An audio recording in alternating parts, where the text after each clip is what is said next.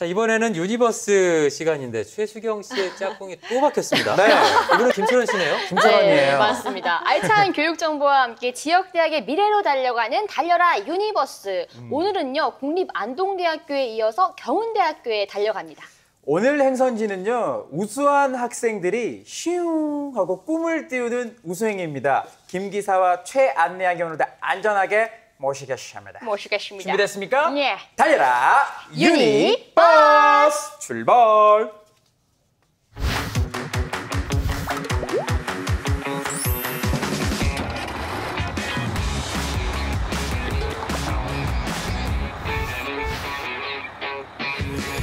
기사님, 네. 오늘은 학교도 바뀌었고 차도 또 바뀌었네요. 아 저희만 안 바뀌었어요. 어, 좋네요. 네, 좋은 거죠. 네. 새로운 시대가 또 왔으니까 또 새로운 환경도 왔으니까 저희 준비를 좀 했죠. 오늘 저희가 온 학교가 또 항공 관련 학과로 유명한 학교잖아요. 네. 대구 경북 신공항 시대가 이제 눈앞에 펼쳐지잖아요. 아, 항공 산업과 관련해서 우수수, 우수한 학생들을 저희 눈앞에서 오늘 많이 볼 수 있을 거예요. 아, 우수수 떨어져서 저희가 오늘 우수행인가요?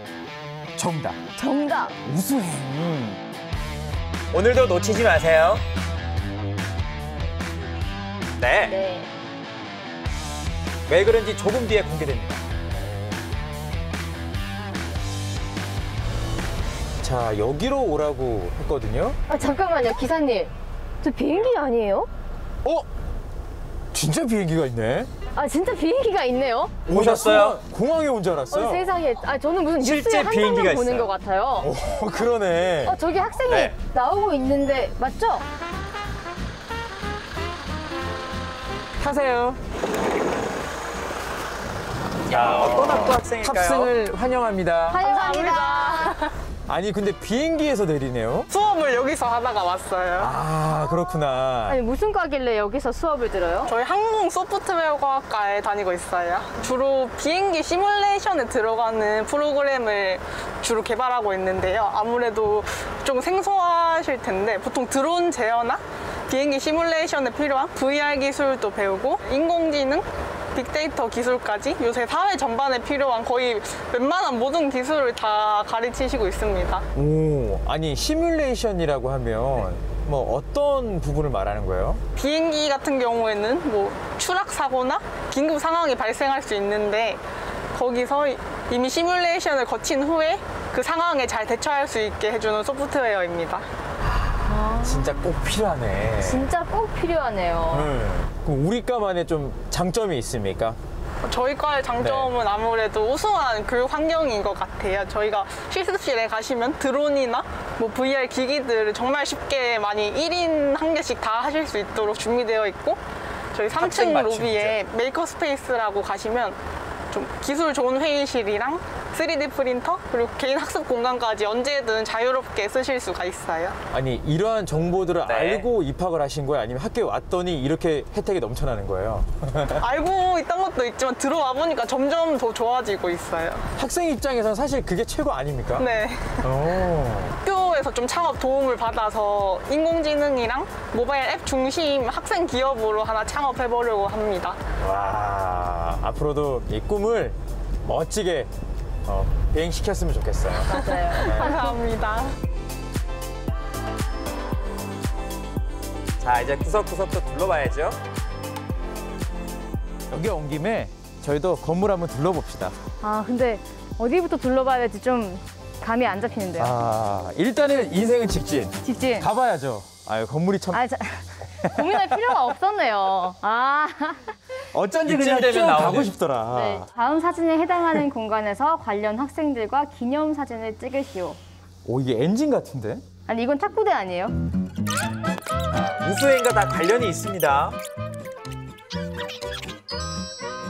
어, 나이 꼴, 나 이 꼴이 지금 올라, 맞죠? 맞아요. 같은 말. 탁구대. 아, 안녕하세요. 안녕하세요. 놀라셨죠? 맞다! 여기 맞죠? 이 사진에 있는 배경. 네, 여기가 맞습니다. 아, 맞아요. 네, 아니었어요. 유레카. 드디어 찾았다. 아, 아니, 근데 사진에는 지금 이게 없는데? 음, 그러네. 다른데 이거 이거는 뭐예요? 예, 이거는 저희가 이제 졸업 작품으로 만들고 있는 항공기를 음성 인식으로 제어를 하는 시스템을 개발을 하고 있습니다. 저희가 음성 인식으로 이제 조명을 켜달라고 하- 했을 때이 네. 스위치가 작동이 되면서 이 조명이 켜지게 되는 방식으로 저희가 지금 구상을 하고, 하고 설계를 하고 있습니다. 아니 근데 무슨 학과길래 이런 장비들을 저희는 이제 항공 쪽으로 이제 전자 이런 시스템 제어나 통신 같은 것을 주로 배우고 있는 항공전자공학과입니다. 들으셨죠? 항공전자공학과. 그럼요. 여러 가지 장비를 다루어야 네. 되는 것도 있고 기본적으로 전자적인 그런 지식도 있어야 되다 보니까 어, 보통 다른 과보다는 실습이 많고 현장에 나가서 실습을 하는 경우도 종종 있습니다. 우리 과 이거 진짜 최고다. 저희 학, 학과 건물이 일단 새로 지어진 지가 얼마 안 됐어요. 그렇더라고요. 네, 그래가지고 조금 설비가 신식이 많다. 이런 것과 또 모를 교수님들께서 이제 수업을 해주시는 것도 있고 저희가 공부하다가 모르는 게 있으면 저에게 설명을 자세하게 해주시거든요. 그런 거 있어서 공부하는 거에 딱히 어- 어려움이 없고 막힘이 없다는 게 굉장히 장점인 것 같습니다. 그리고 이런 선배들도 있다. 맞아요. 어, 멋진 훈남 선배들이 있다. 그건 아니에요. 네, 맞습니다. 맞대요. 항공전자공학과 화이팅! 제가 인증샷을 찍어봤어요. 자, 여기는 또 어딜까요? 왔다. 익숙해요. 이야. 맞네요, 이거. 아니 생각보다. 훨씬 더 크네. 이거 맞죠? 여기 보던 거보다 진짜 훨씬 큰데요? 야 이거 칼을 자막이 불러도 나가고 있죠? 진짜 품지 정도인데? 또 한번 서볼게요. 한번 서봐. 엄청 크죠? 아 이거 그대로 그냥 이 사진 정도 한번 찍고 싶다 이렇게. 이렇게요. 안녕하세요. 안녕하세요. 어, 정, 정비복 진짜 멋있네요. 이- 아니 근데 지금 이 느낌은 약간 엔진 오일 막 가는 느낌 자동차로 치면? 어, 네, 맞아요. 엔진 오일 정확하게. 아, 맞아요? 네네. 맞췄네. 맞췄어. 큰일 났네. 아, 그러면 일단 맞췄으니까 항공 엔진 학과 그러면? 아, 저희 항공 엔진학과가 아니고 네. 항공 기계공학과. 네, 항공기계공학과를 소개합니다.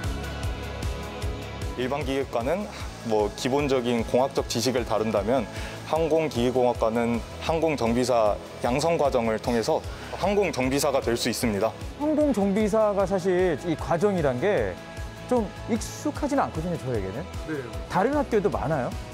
다른 학교에도 많지 않고 일단 저희 국토교통부에서 인정해주는 그 기관이 따로 있는데 그게 저희 항공기계공학과의 항공기술교육원에서 이제 만약에 이것을 수료하게 된다면 항공정비사 자격 취득 과정에서 작업형을 면제시켜 주어서 이제 자격증을 더 따기 쉽게 할 수 있는 그런 장점이 있습니다.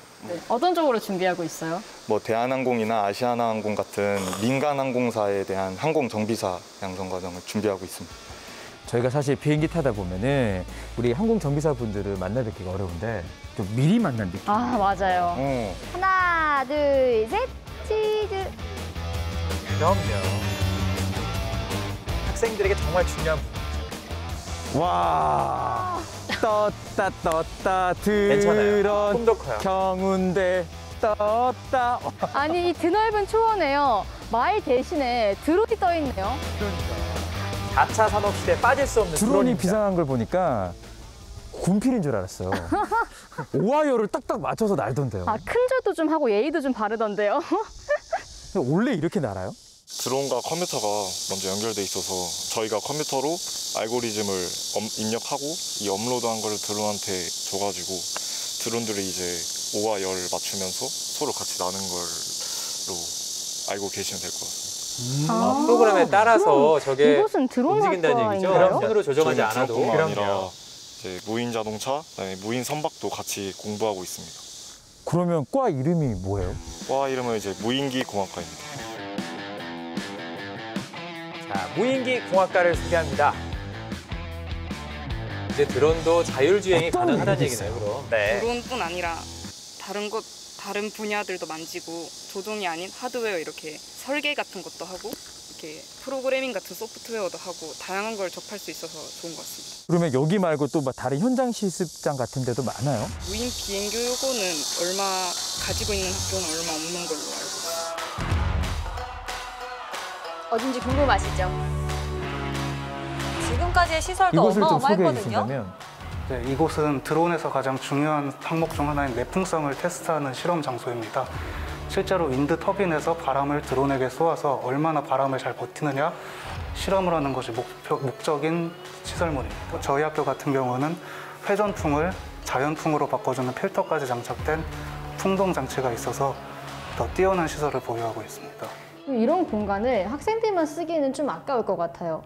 네, 실제로 다양한 연구소와 산업체에서 방문을 해주셔서 드론을 직접 띄우고 내풍성 테스트를 하신 뒤에 복귀하시기도 합니다. 요즘 사실 뭐 드론 모르는 분들 없잖아요.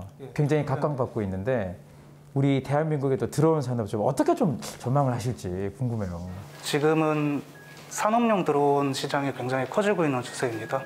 산업용 드론이라고 하면은 드론에 실제로 어떤 특수한 목적을 띤 임무 장치를 탑재해서 사람이 하기 힘든 일을 대신 수행하는 그런 드론의 연구 개발이 많이 진행되고 있습니다.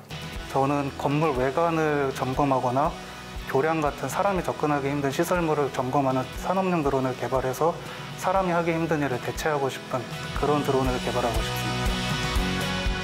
대구 경북 통합 신공항이 생기면 취업의 문이 활짝 더 열리고 우리 학생들의 꿈도 더 높이 비상하지 않을까요? 맞아요. 근데 신공항 때문만이 아니더라도 오늘 학생들 보니까 정말 우수해서 앞으로의 미래가 참 창창해 보입니다. 그 창창한 학생들이 이끌어갈 대한민국 항공산업 정말 기대됩니다. 그러면 저희 그 기대감을 안고 다음 행성주로 출발해 볼까요? 네, 좋아요.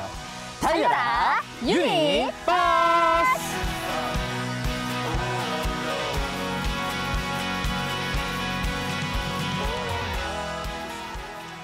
항공산업 기술은 그야말로 최첨단 기술이잖아요. 그래서인지 학교에서도 시설과 장비에 대한 투자를 아낌없이 하더라고요. 특히 유일 최초 최대라는 수식어가 붙은 인프라가 정말 최고였습니다. 와. 예. 네, 아니 그렇지 않아도 경운대학교 머지 않은 곳에 이 대구 경북 통합신공항이 들어설 예정이잖아요. 제일 가깝다 그러죠? 네. 예. 사실 경운대학교가 영남권 유일의 항공 특성화 대학이니만큼 이 통합신공항 들어서면 더 주목받지 않을까 싶어요. Exactly. 정확하게 짚으셨습니다. 네. 아, 갑자기 이제 글로벌 시대니까 네. 영어를 한번 써봤어요. 사실. 그 항공이란 단어는요 경운대학교를 상징하는 단어라고 봐도 과언이 아닙니다. 그도 그럴 것이 화면에서 보셨죠. 우리 항공 관련 학과 학생들이 대학 정원에 또 절반을 채울 만큼 비중도 높고요. 예. 보신 대로 대구 경북 통합 신공항 정말 이 시대를 이끌어갈 인재들이 우수수수 예. 우수수수 배출될 곳이거든요. 기대해 주세요. 그래요. 예, 경운대학교가 그야말로 항공기 분야의 맞춤 교육이 이루어지고 있는 곳인데 이곳에서 배출된 인재들이 대구 경북 통합 신공항의 주역으로 성장해 주기를 아, 저희들 응원하고 기대하겠습니다. 아, 아울러서 달려라 유니버스도 마지막 운행까지 안전 운행하기를 아, 바랍니다.